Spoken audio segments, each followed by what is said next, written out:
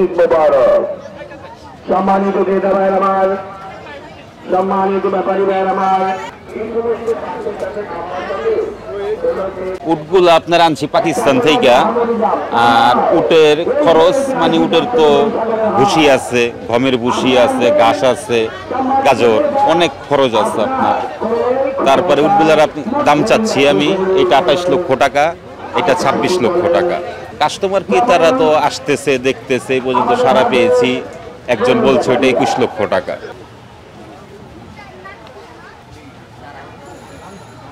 এই উট আনার পেছনে আসলে কারণটা কি? মানে এক্সক্লুসিভ জিনিসটা আপনি নিয়ে আসলেন উট একটা মরুভূমির জিনিস, আপনার দেখার জিনিস, আপনার এটা আরবের কান্ট্রি দেখতে একদম নবী করিম সাল্লাহ সাল্লাম এক সময় উট, দুম্বা এসব কোরবানি দিত। উট জিনিস হলো একটা ভালো জিনিস। এই দেখছেন কত দর্শক আইসা দেখতেছে, নিজেদের কাছেও ভালো লাগতেছে। আমাদের উট কথা বোঝেন না, অনেক লোক আসছে, নানান দূর দূরান্ত থেকে, ছোট ছোট বাচ্চা পোলাবান্ড আসতেছে।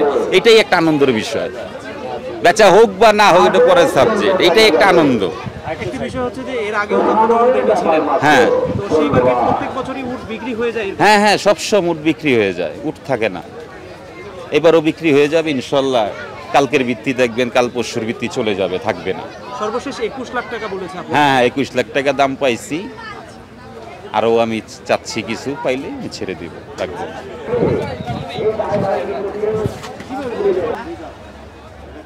না। এই বছর পাঁচটা আনা হয়েছে। দুইটা। দুইটা বেচে কীরকম দামে বিক্রি করছেন? বেচে দুইটা সাড়ে ছয় লাখ। আপনারা কি প্রত্যেকবারই দুম্বা নিয়ে আসেন? প্রত্যেকবারই বারো মাসই পেয়েবেন একটা দাম এটি এলো দাম চাই চার লাখ।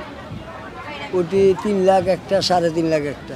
পাকিস্তান তো এসেছে আবার সৌদির থেকে আইছে। শিবে আইছে। উটও আইছে। এগুলো কাস্টমার কীরকম দুম্বার? কীরকম কাস্টমার আছে হালকা পাতলা। যদি না হেডি চান্ডাই দিয়ে নিয়ে যাব বুঝছেন? আমরা এই আশায় লই আই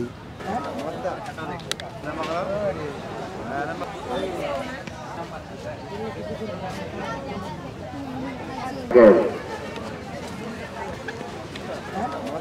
দেখতে আসছেন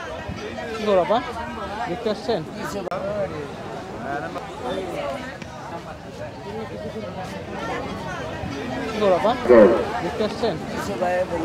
সংবাদ, ফিচার ও অনুষ্ঠানের জন্য ভিজিট করুন সংবাদ প্রকাশের ওয়েবসাইট এবং যুক্ত থাকুন ফেসবুক পেজ ও ইউটিউব চ্যানেলের সঙ্গে।